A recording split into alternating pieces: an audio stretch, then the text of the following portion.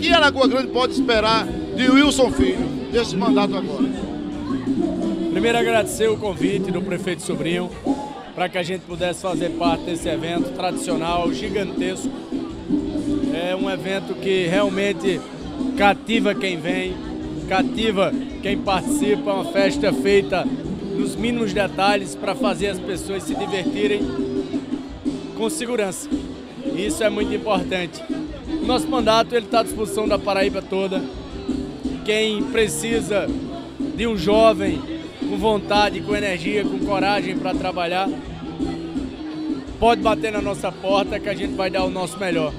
O prefeito Sobrinho me convidou para iniciar um trabalho, para iniciar um novo momento na cidade.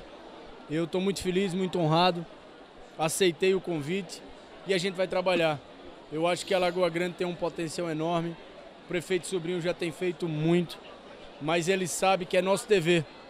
Quem está na política tem um dever de não se contentar com o que já foi feito, de não se acomodar com o que já foi feito.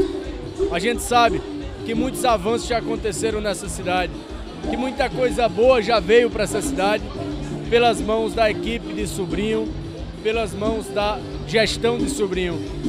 Mas ele sabe que mais coisas ainda precisam ser feitas, o povo merece ainda mais.